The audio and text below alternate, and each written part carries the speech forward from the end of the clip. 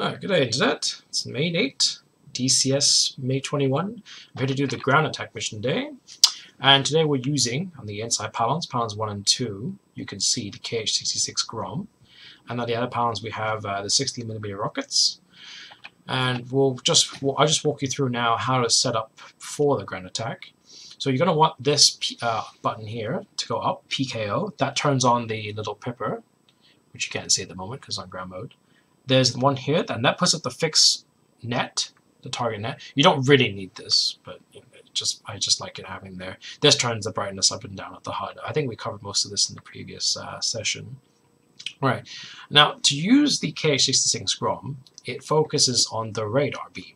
So your radar needs to be warmed up before this. So I think if I remember correctly, it needs to be warmed up like three minutes beforehand. So you know when you're cruising along, you you turn the radar into standby mode, and that sets and warms it up while you um, warm up, after you warm up, you can then turn on to the focus beam.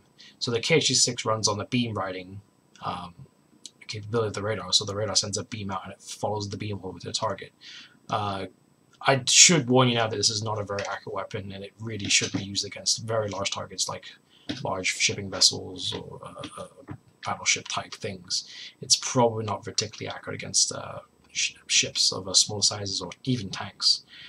Now, to actually engage the missile, we turn the knob over here to the infrared semi-active section. Sorry, correction, the S24 section, because it technically is an S24 rocket. Uh, I don't have it on, but if you actually remove the fins on the uh, KH-66, it does actually sort of look like the uh, S24 rocket. So we're going to put on the panel 1 and 2 there when I start the mission. And we're going to make sure everything is set up. So we want this, this to be on ground mode far left uh, button here and we want this to be on some active radar, it doesn't really matter. Now we want this to be on the lower half, which is the missile mode, bombardment mode, and we want the gyroscope to be automatic, and we want this to be shooting. Um, I mean, I mean, this is not an intense guide. It's just a really, just a quick guide to get used to. You can use the missiles really quickly. Um, I'll boot the game up now, and we'll uh, turn all the radar on, and then we'll get the weapons ready up. So goes on. Ground clutter. This needs to be up. And focus also needs to be up. So now you get a beam. And once you point out a ship, you can just see the ship straight ahead. And you can see the pipper right there. You move that over target and you hit enter to lock. Now put the rockets on. So there you go. See, it's one, two. So now it's on pylon one and two. Now I'll move it over the ship. Now it's locked onto the ship. You can change the size, but it's not just for demonstrative purposes. Right, launch. Big missile launch. Now your plane will list to the side it's not on. Um, ooh, you see a splash. I think I missed a ship. Oh, no, I actually hit it. I think it's sinking. Oh, that's the first. Um, your plane will be massively out of um, balance. Um, there is a trim button, but I actually haven't quite got used to the idea yet. So for now, you just have to fly slightly off center. Let's go for another pass and get rid of the other missile so we're not uh, trim. Oh, this is a steep turn.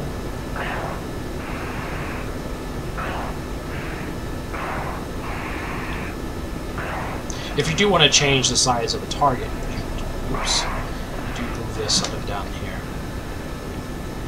It's not down. I can't find the other ship, so I'll probably just offload the missile. Ah, no, it's, up. Oh, there it is.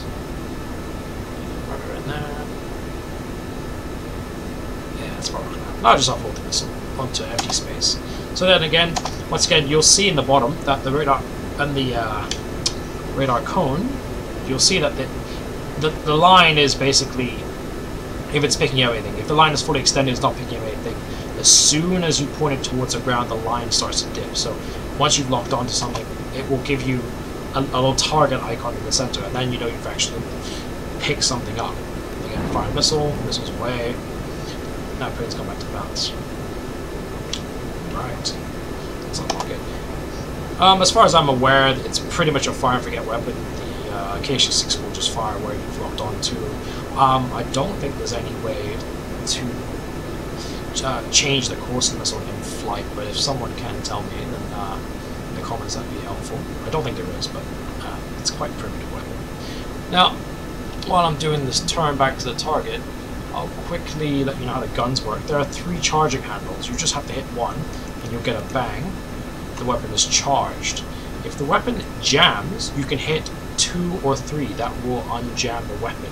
But of course, you only get two chances at this. So um, after the first one jams, you get two, it clears a jam, and then you get three, it clears a jam. I can't quite find those ships, so I'm gonna go cheat and find out using the map. Just like to my right. If I can't find them, I'll just fire the rockets into space. You want to take this off the rocket. So we're not using the S-24 rockets anymore. We want the uh, the rockets on the left-hand side position. And they're in pylons 3 and 4, if you remember correctly. 1 and 2, 1 and 2 is the inner pylons, 3 and 4 the outer pylons. So we want the outer pylons selected, which is 3 and 4 right there. Can see a ship now. Um, for those who are interested, the brakes, air brakes are C and D. C deploys the brakes, I'll give you see it there, D retracts it. Very straightforward.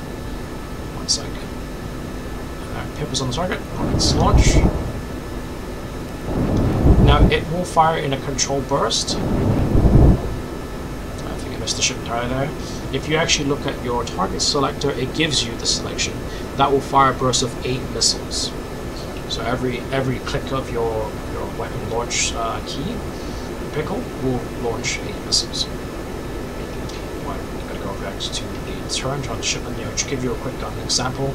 Now for the guns, you actually probably want the, the pipper to be on the gun mode, which is this top here where it says gun. You want that to go up. So now your, your, your sight is configured for guns. Another thing, another I use that in inverted commas, while we're here doing ground weapons, is the fuel tank jettison, which is this yellow thing here, if you press it, it will jettison your fuel tanks. However, I don't think you can jettison the center fuel tank. It only jettisons the wing fuel tanks. Again, I might be wrong. I'm not overly familiar with the, the system, but so far we uh, haven't able to jettison the fuel tank. We'll find those ships again. I'm trying to set one of on fire as if he's the spot. I'm gonna go back to the cheat sheet. Back to the guns do sound great, by the way, off topic here, but they do sound fantastic.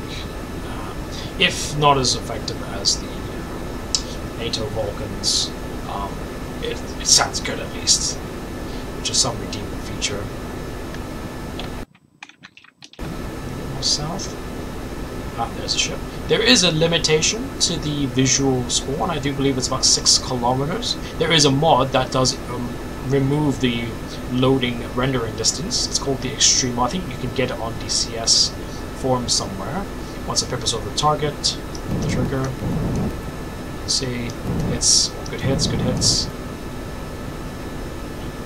Overall, it's the weapon systems, uh, like the aircraft itself, is uh, fairly simplistic and straightforward. The, it, the difficulty is how obtuse the weapon system selection is, uh, rather than the, the BMS F-16 button where it goes air ground and it's uh, very fluid. A lot of it is coming to knob, so you can see here uh, this is weapons pylon 1 and 2 rockets, and then on the 9 o'clock position it goes up to the 3 and 4 pylon 8 rockets, and then 1 through 4 with 4 rockets. So if you had, theoretically, if you had all 4 po uh, pods of rockets, you can fire them all, each pod individually 4 at a time. The top one here is the S-24 rockets, and all the, the regular missiles are here in the remainder from the 2 to 7 o'clock position or so. Nothing too difficult. Um, again, just you have to flick. You have to flick through. I mean, if you really needed to to rush and uh, switch from air to ground and ground to air, it will take a few extra seconds, which can be can be a bit tricky if you're in a dogfight situation, multi a multi-role mission uh, frag that you've done. Um, I think that's actually everything. Obviously, don't forget to turn off your radar when you're not doing anything, because the radar does have a 25 or 20 minute limitation, because it, uh, to use the joking, jokingly, runs off vodka. It is in fact an alcohol called radar. Um, well, maybe it could actually be vodka. Joking, that's a joke, but... Um, I do think that is it. So, this is the ground attack tutorial done. Uh, if there's any more questions, just dump in the comments. I do think I've covered most of it. I will, in fact, cover bombing uh, in both cluster and regular uh, iron bombs in a separate tutorial. But as far as uh, uh, projectile, uh, missile, ground attack weapons, that's pretty much it. Um, again, you won't get much success, I don't think, with the KH-66 uh, Grom. It's also got very little blast, so overall it's not particularly effective. Um, it's a good weapon to use against big ships, as I said earlier, and kind of fun. I mean, that, that pretty much is what the MiG-21 overall for me is a lot of fun weapon systems to employ. And the rockets are probably your best bet for gun attack. You know, probably load up your your pylons of four uh, rocket pods, either the S-24 or the um, the S-16 rocket pods, and just go crazy. And the guns are pretty good as well. I think the effective range of the guns is like 1k, maybe just under a k. Um, just don't forget to switch your, your gun modes up, up here. So you want gun, and missile, um, oh, sorry, and then you got bombardment here, which is for ground attack. And uh, that's pretty much it. Alright, well until the next session then. Uh, this is Nate signing off.